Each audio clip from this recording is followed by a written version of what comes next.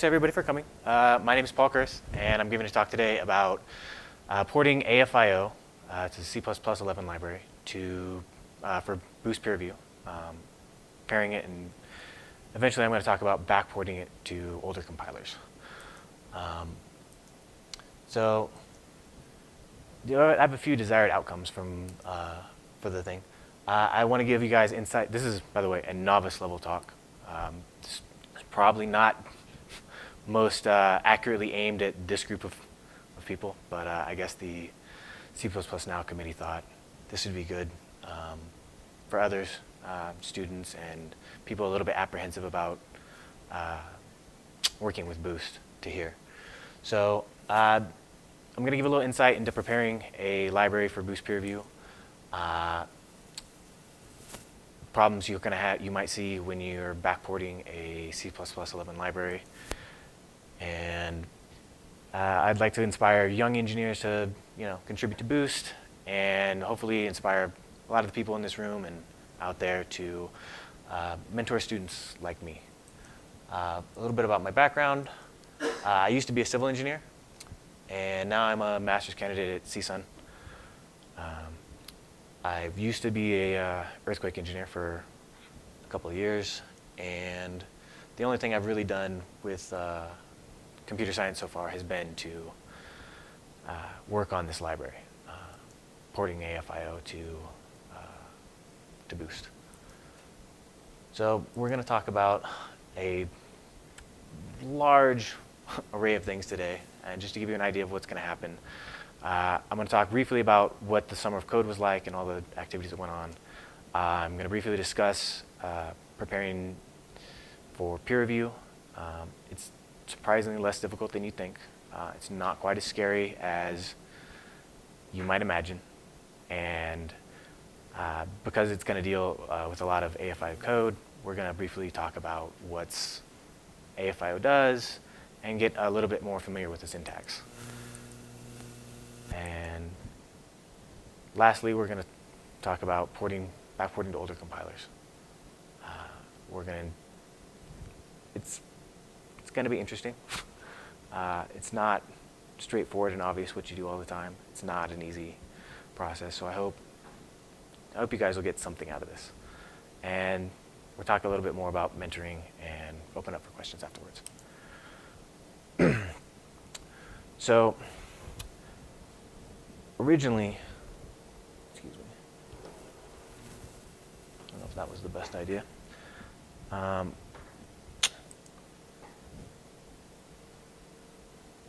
Uh, originally, we started uh, my GSOC. I got familiar with AFIO. I changed all the names to be compatible with the Boost uh, guidelines, changed macros, removed external dependencies. There was a lot of overlap in these. These aren't like, you know, you, there's definite concurrency going on. Uh, we had to change the unit tests, uh, change the build system, reorganize the files and directories, uh, get the CI to work with properly. And then we started backporting. And that's a lot of work. Uh, we ended up supporting uh, the last three revisions of each of those compilers. Uh, then we finished up increasing documentation and test coverage, and we opened up the we opened up our library to boost voting on what else the community thought we should add and they gave us a surprising answer of directory monitoring, which neither Niall or I thought was going to happen. Uh, and I finished up just implementing a uh, prototype for asynchronous directory monitoring for the library. Uh, this is my slide not showing up because this is a PowerPoint on LibreOffice apparently. And you can find all the guidelines at the at boost.org. Um, that's the link. I was hoping I'd get a chuckle or two. Um, it sounds really bad. It's scary. Like when I heard what I was going to do, I kind of freaked out. I won't lie. Uh, it's not so bad. It's maybe this is a little bit of hyperbole. Maybe it's not quite as cuddly as that puppy, but it certainly wasn't as terrifying as I thought it was going to be. Um, uh, it's in peer review or about to be.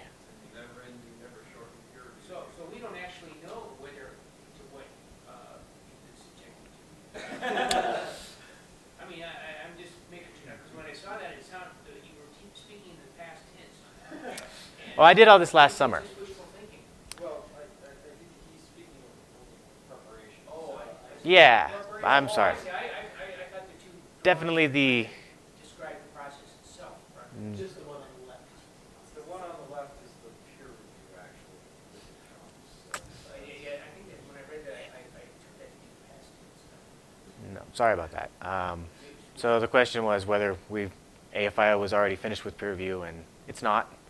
Um, we're in it, we're in the pile, I guess, to be reviewed. Um, but this is about my preparations over the last summer to get ready for that. One other quick question. You- AFIO came from somewhere else, is that, you know, was? Uh, it's Niall's brainchild. I'm uh, I was attached uh, to the project as a part of Google Summer of Code last year. So, um, yeah. But it was done outside of. Uh, originally, yeah, but I, it was always planned to be uh, a part of Boost, and I'm going to get to that in a few minutes. Um, so, this, like I said, this first part is really just about uh, preparing a generic, any kind of library for uh, to be included into Boost to get it ready for peer review, and after that, we're going to talk about backporting to an older compiler, which is a bit more interesting. Um, the easy parts so far are converting names, uh, macros, and namespaces. Boost, any, any of us that have you know, looked through the library know that there's no camel case, it's all underscores. These are easy things to do. They're tedious, they take a long time, they're easy to miss, um, but they're not specifically hard. And file organization and documentation are kind of the same boat. They're not hard, they take a long time, and you might have to tweak things to be exactly in line with the standard, but they're not specifically difficult. Um, so it kind of begs the question, what is hard? Um, making your library portable is not always easy. Uh, removing external dependencies is quite difficult at times. And converting the unit test to use boost test, not always clear. It's not specifically that hard, but we'll, I'll cover that in a more detail in a minute.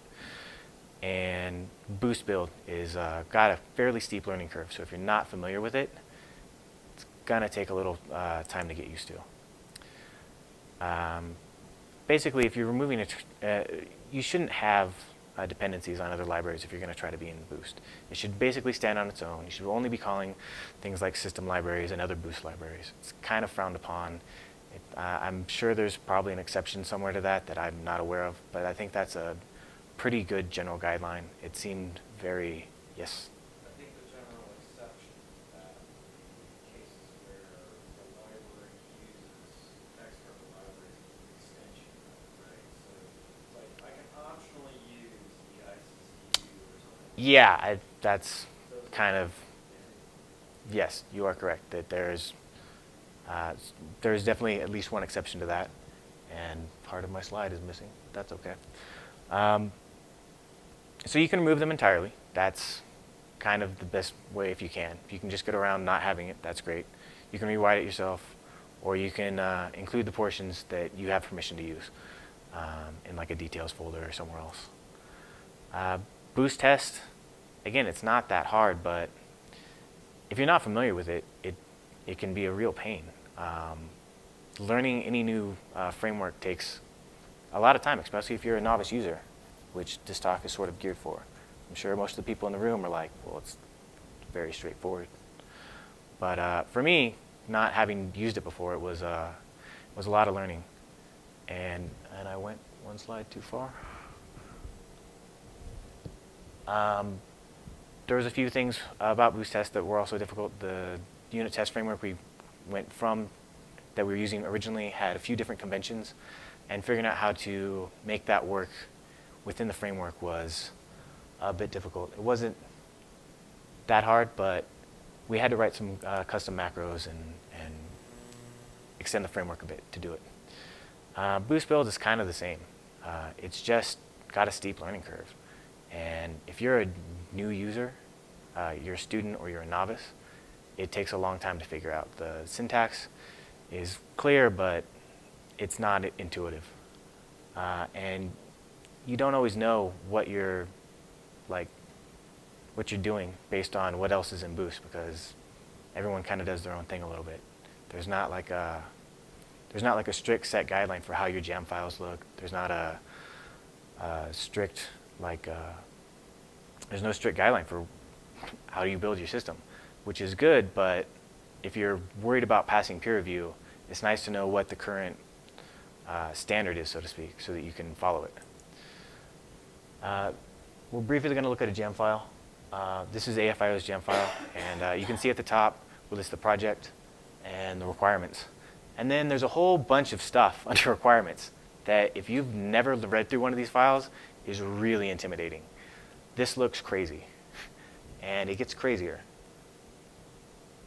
There's targets everywhere. There's you're you're making all these conditional uh, build requirements, and if you're familiar with reading, it's easy to see that oh, I'm gonna if I'm a linked shared library, then you know I'm gonna I'm gonna link with uh, Boost Thread. It's not it's not that hard, but it takes a lot of time to learn. So moving on, uh, I'm going to briefly cover AFIO. Um, AFIO is a linear, scalable, batch chainable, asynchronous closure execution engine with an almost wait-free implementation extending Boost ASIO and Boost Thread, specialized as a portable asynchronous file IO implementation library. Uh, that comes straight from my mentor. Uh, it's in the AFIO documentation. And after hearing that, you're probably like, well, what does that mean? And in C++ terms, it's an unordered map of shared futures paired with a thread pool and using ASIO as the job dispatcher with Intel TSX memory, transactions protecting the hash table, and everything else running wait-free. Uh, so hopefully that makes it a little bit clearer. Basically, we're using ASIO as a central dispatcher, and we're feeding it closures, which is how we're able to do file I.O. We, are, we can send large batches of file I.O. operations in a closure to be done, and we can set dependencies on it so that we're not trying to read a file that hasn't been created or opened or whatever. Uh, it lets us do a surprisingly good job of improving our throughput for file I.O. Uh, here's the most toy example I could possibly come up with. Uh, basically, on the traditional code, we have a, a, small array of 10 numbers, and we write it to a we, we write it out to a file, uh, we write out a, a, file of those 10 numbers, and we're going to read it and do some operation on it, and uh, read the uh, read the data back in, and that's it. Uh, on the other side, we see AFIO, and what it's going to do. And it's the top portion is completely boilerplate. They do the same thing. They just both create a binary file and close them. Uh, you'll notice at the bottom, ASIO, AFIO sets up a dispatcher. Um, that's our call to start it working, basically. Uh, we create a, it opens up ASIO and, and makes the dispatcher, and then we're going to start scheduling stuff on it. So in the traditional code, which is much shorter, um, we're just opening the file and we're reading from it and closing it. Uh, the AFIO way is slightly different. Uh, we're scheduling here that we're going to open the file for reading then we're going to set a, we're going to create a vector filled with uh, read ops, and we're going to create a lambda uh, mm, on the next slide. Anyway, uh, so we set up the dispatcher to read all these, uh, all these ops, and then we set up a lambda down here that's going to, that's going to do our uh, work on our data, so to speak. Like I said, it's a very toy example. We're just multiplying something by two. It's completely trivial. Um, so now that we're doing some work here, the traditional code is just going to go sequentially through and multiply everything by 2, and we're going to print out and confirm what our result is. Uh, it's just numbers 0 through 18, as expected. And on the other side, we make a call to uh, complete the uh, read ops and the, with the vector function. And we finish scheduling. we make sure the work is completed, finish up, and we end up with the same result. It's a little bit more code. It's a little bit more verbose. It's not quite as clear, but it makes up for all of that with performance. And this isn't the sort of thing you do on tenants. This is the sort of thing you do with a really large set of file operations. Um, there's no way you'd ever try to set up a dispatcher if you just have tenants. It's kind of crazy. So what is it like to backport C++ 11? It's a little bit like trying to pound a square peg into a round hole. Um, maybe not quite that bad, but you're still forcing um, two incompatible standards to work together. And my recommendation is really evaluate how much you need C++ 11 for whatever you're doing. If you can avoid the backport, it might be worthwhile. Uh, if you can't, we're going to cover that in a minute.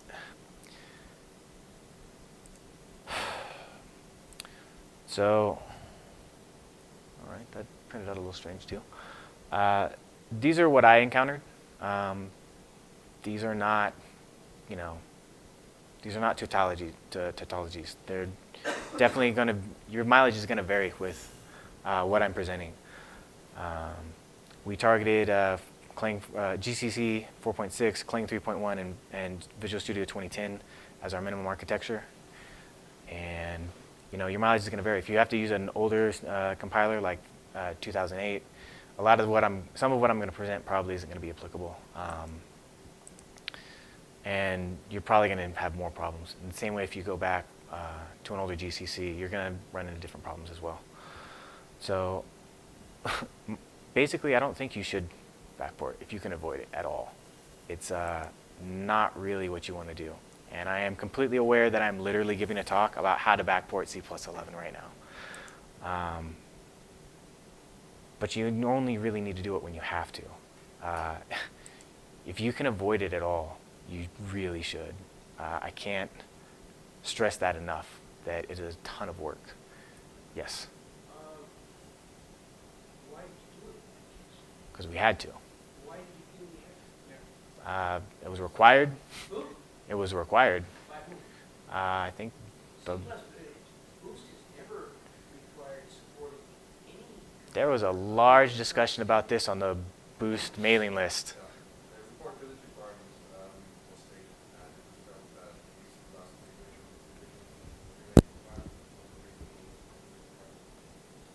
Well, uh, it's not, it's certainly never been official Boost. It is certainly not written in the Boost guidelines. It's not anywhere on boost.org. You're completely correct.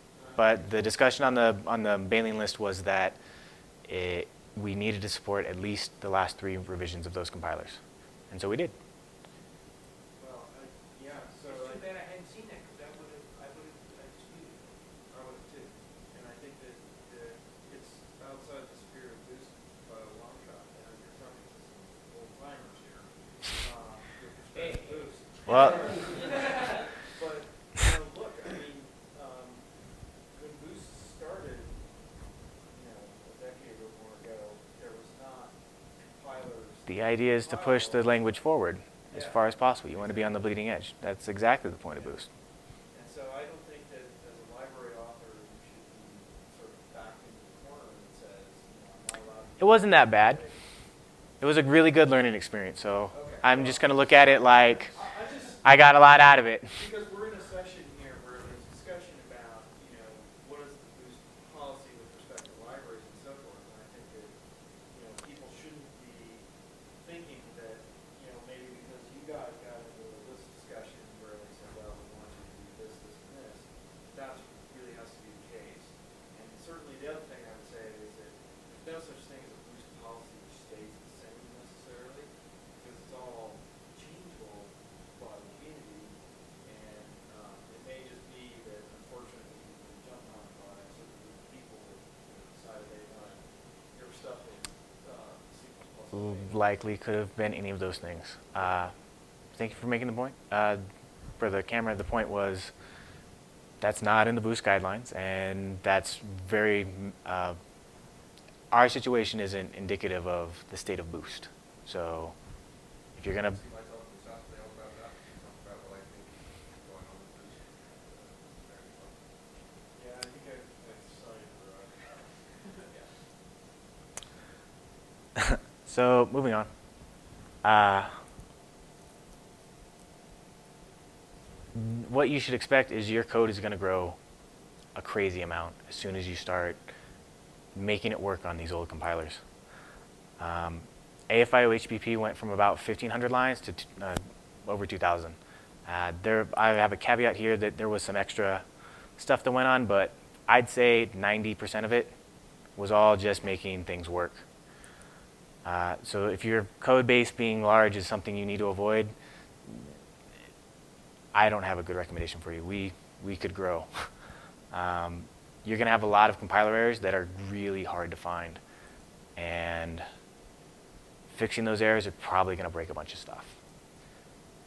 And you're probably not going to get the good performance. Um, we have some recent data contrary to that, apparently.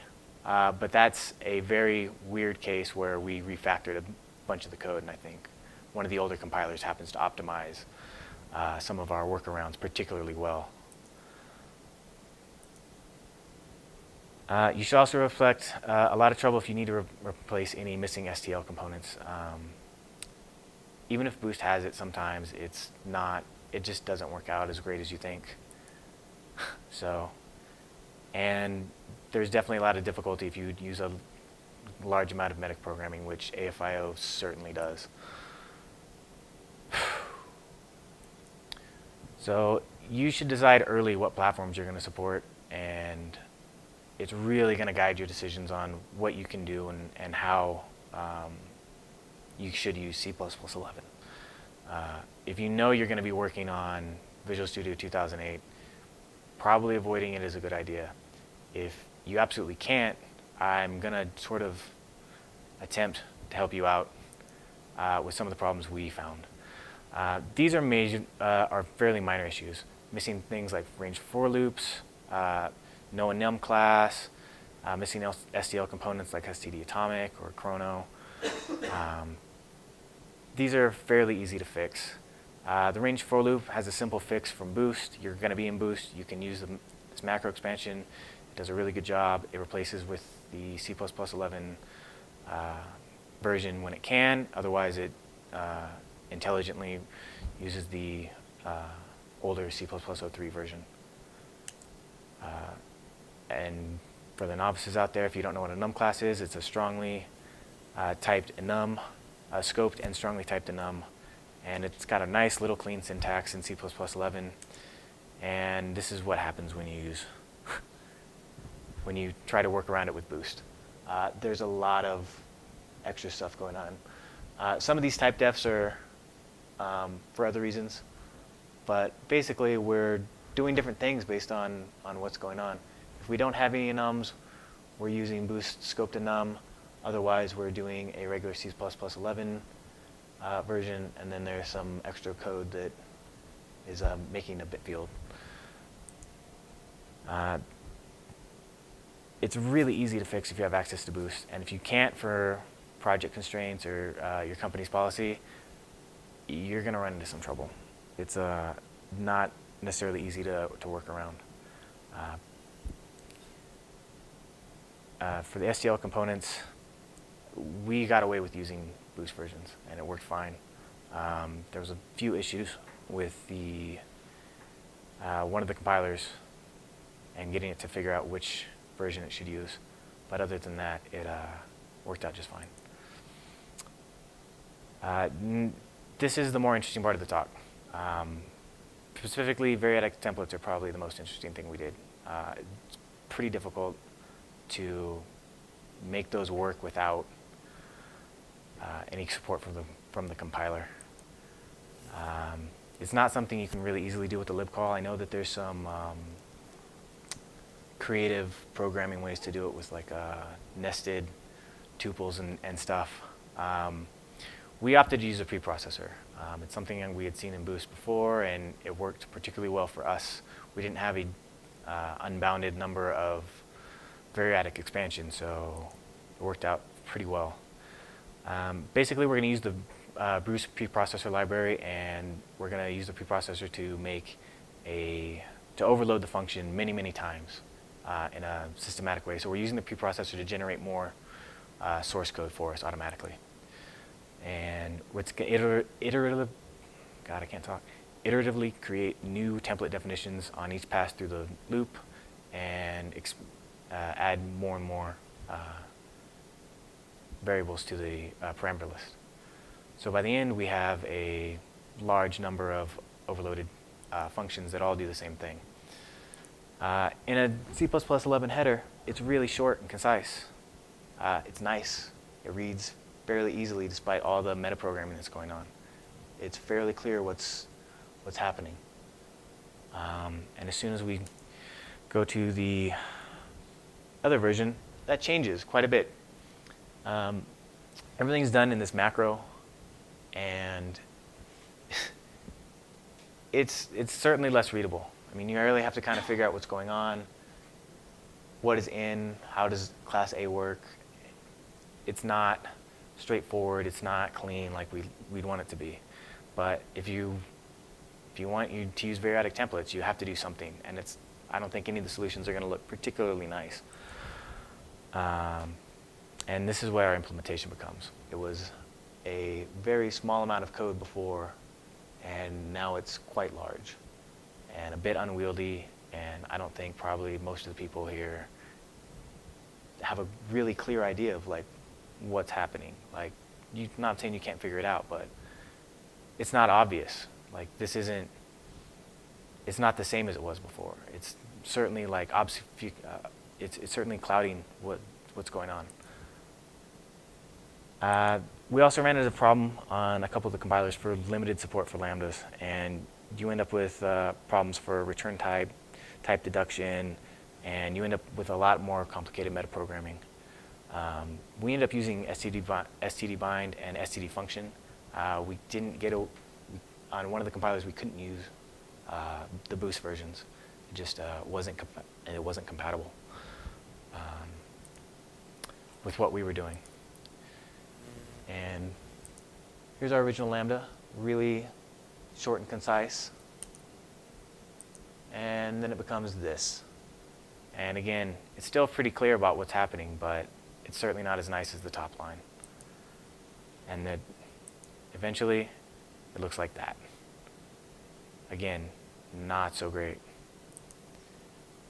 Uh, we keep, well, the pound else is supposed to be on its own line, but uh, we keep seeing this uh, repetitive pattern where my code is growing and growing, and it's becoming less and less clear what's going on because I have to use the preprocessor constantly to decide which version I should be compiling for which compiler.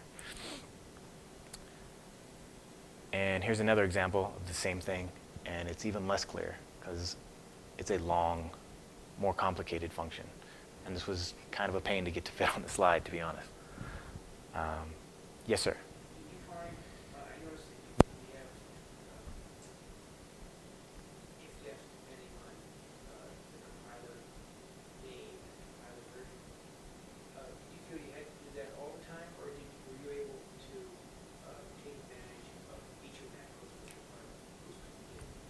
Um, or did you just choose to do it this what, you mean like boost MSVC? Or did you choose it this way because you had to do it this way, or was there some other reason? Uh, I think mostly we felt we had to do it this way and it worked. Um, there could be a, there could be a, work, we went on. uh, some of it, yeah. Uh, there might be a more sophisticated way, but this is the solution I came up with. So uh, it seemed to be it seemed to be fairly consistent with uh, what was in the rest of Boost. And then we ran into an to an internal compiler error, and my first thoughts when that happened were that, oh no, I broke the compiler. I'm so fired. Uh, I I'd never run into a compiler error. I didn't. I thought I broke it. I thought I just ruined. I thought I ruined our whole code base, and I had no idea what I'd done wrong because I kept looking at the, the changes I had made uh, in the in the repo, and I, it looked perfect. Um, I'm running a little long. So this is the error message. It wasn't particularly helpful.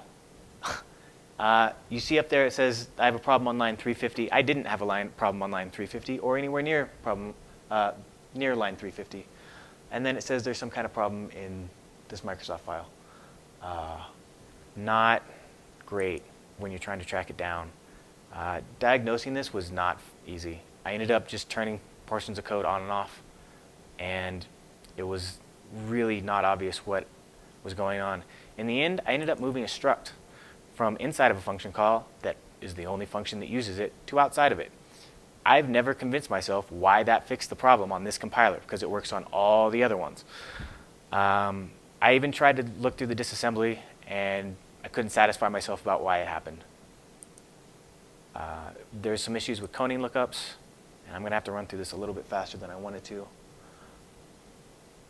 Uh, and my highlighting's gone. Okay, uh, well, you'll see here on the bottom version, there's a lot of uh, name spacing going on. There's a lot of explicit uh, things. At the top, uh, we had a, uh, inside this function, uh, up above, there was a using namespace locally for this one function, and it worked great on all the other compilers. Uh, but we ended up having this problem here from some, either some problem with the compiler's version of the STL, or just its, its a name table or something. Just it couldn't find what it was looking for. And you kind of got to ask yourself after you do all this and you work for a long time, is it worth it? Um, and that's going to always end up being a question for you, right? Is the effort worthwhile? Uh, for us, I think it was because we got we had satisfied what we thought was uh, necessary to enter peer review. Um, this is briefly about what the Summer of Code is. I think everybody here knows that Google funds students to work on open source projects for the summer. Uh, I'm not going to talk too much about that. But I will say that mentors are important. Um, this was probably one of the best experiences I've had in my life. I was an engineer before this. I designed buildings. I worked on bridges. Uh, I had a few great mentors and professors and professionally, but this was far and away the best professional experience I'd ever had. I learned more in these six months, or in the three months of the last summer than I did in a whole year of classes.